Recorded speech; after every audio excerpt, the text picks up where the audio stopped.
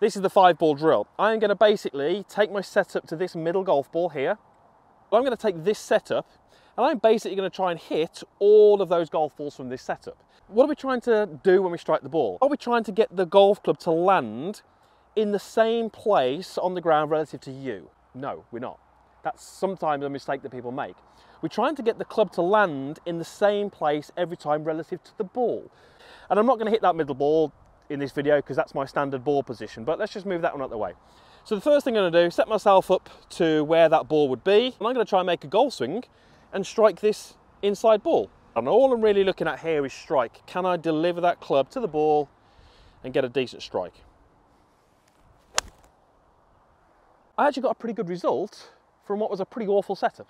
Those are the situations on the course where you get a terrible result because you don't react to the situation well enough.